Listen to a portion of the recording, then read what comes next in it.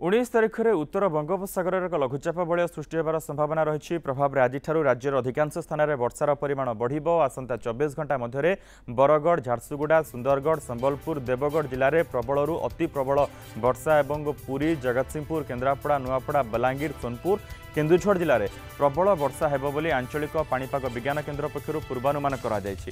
ସେହିପରି କାଲିଠାରୁ ବର୍ଷା ପରିମାଣ ବୃଦ୍ଧି ପାଇବ। ଉତ୍ତର ଓଡ଼ିଶା ସମେତ ଆଭ୍ୟନ୍ତରୀଣ ଓଡ଼ିଶାର ଜିଲ୍ଲାଗୁଡ଼ିକରେ ପ୍ରବଳରୁ ଅତି ପ୍ରବଳ ବର୍ଷା ଲାଗି ରହିବ। ଏକୋଇଶ ତାରିଖ ପର୍ଯ୍ୟନ୍ତ ଏଭଳି ସ୍ଥିତି ଜାରି ରହିବାକୁ ଥିବାରୁ ଅର୍ଦ୍ଧାଧିକ ଜିଲ୍ଲା ପାଇଁ ୟେଲୋ ୱାର୍ଣ୍ଣିଂ ଜାରି ହୋଇଛି।